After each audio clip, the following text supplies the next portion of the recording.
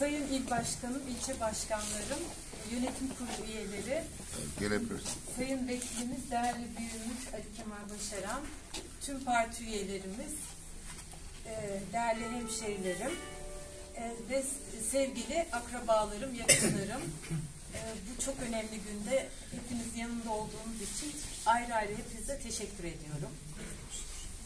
Tabii heyecan oluyor ama bu heyecan benim güçlü yanım. Bu olduğu sürece ben başarılı oluyorum.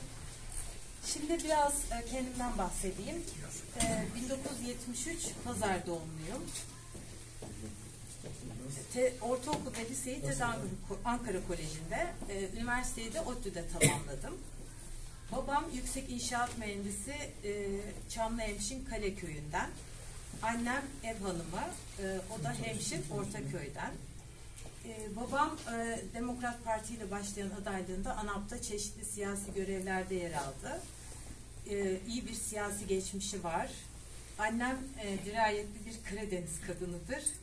Abim elektronik mühendisi, e, İyi Parti Kurucular Kurulu üyesi e, ve aktif olarak 5 yıldır partide.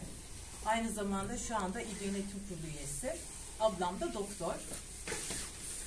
E, ben e, burada Kale Yaylası'nda bir evimiz var. Yani bir ayağımız burada. E, pazarda Kuvatçeli bir evimiz var. E, sık sık gidip geliyoruz. Zaten babamla annem Nisan'da geliyor. Kasım'a kadar burada yaşıyorlar. Biz de onları hiç yalnız bırakmıyoruz. Ee, biraz şirketimden bahsedeyim. Bu ODTÜ'den mezun olduktan sonra e, Başarı Şirketler grubunda finansman uzman yardımcısı olarak göreve başladım. Sahibi de yine e, annesi Ardeşenli, babası e, Pazarlıdır. E, finansman uzman yardımcısı olduktan sonra 18 yıl aynı kurumda görev aldım.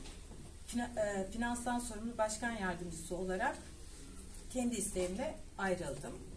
Kurum uluslararası bir kurumdur. Büyük bir kurum. 500 çalışanı var. 300 milyon dolar cirosu olan yurt dışında şirket sahibi bir kurum.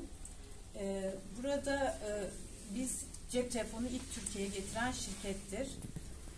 Aynı zamanda e, üretim, teknik servis, yayıncılık, bilişim ve şimdi havacılık alanlarında faaliyet gösteriyor. Şirket